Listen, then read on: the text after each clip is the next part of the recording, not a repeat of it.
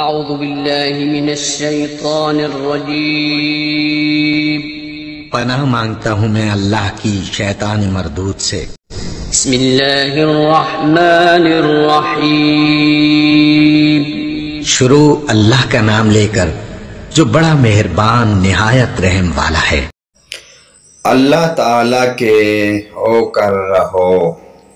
نبی کریم صلی اللہ علیہ وآلہ وسلم نے ارشاد فرمایا، جو شخص اپنے دل سے اللہ تعالی ہی کا ہو کر رہے، اللہ تعالی اس کی سب ذمہ داریوں کی کفایت فرماتا ہے اور اس کو ایسی جگہ سے رزق دیتا ہے کہ اس کا گمان بھی نہیں ہوتا۔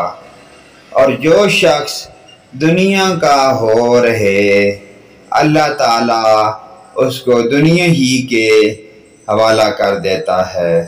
ابو الشیخ، اللہ پاک ہمیں آخرت کی فکر کی توفیق عطا فرمائے۔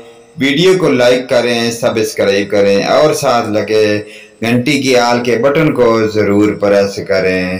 اسی طرح ہماری اچھی اچھی حدیثیں آپ تک پہنچتی رہیں۔